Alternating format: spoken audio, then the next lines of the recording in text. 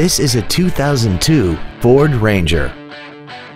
This truck has a 5-speed automatic transmission and a 4.0-liter V6.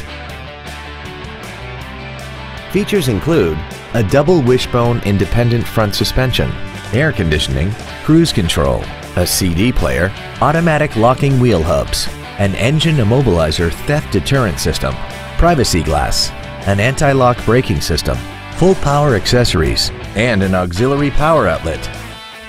This automobile won't last long at this price. Call and arrange a test drive now. Friendly Ford Lincoln is dedicated to doing everything possible to ensure that the experience you have selecting your next vehicle is as pleasant as possible. We're located at 2800 North Telegraph in Monroe.